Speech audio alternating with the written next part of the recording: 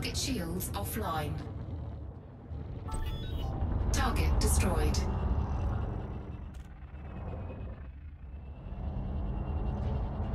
That was the best damn sequence I never filmed. Uh, yeah, that was a shame. I've got it on film from when I joined, but